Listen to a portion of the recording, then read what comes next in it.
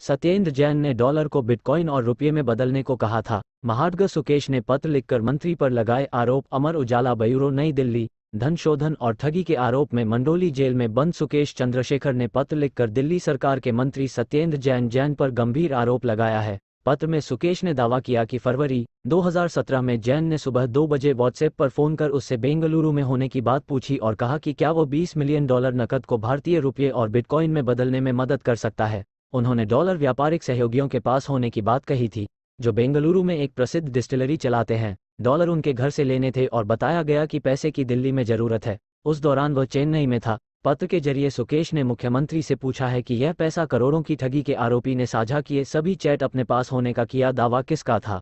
Distillery मालिक आपको इतनी बड़ी रकम व्यों दे रहा था। इस राशि को भारतीय रुपये में किसने बदला? वह जौहरी कौन था जहाँ सत्येंद्र जैन के निर्देश पर बैग पहुँचाए गए थे?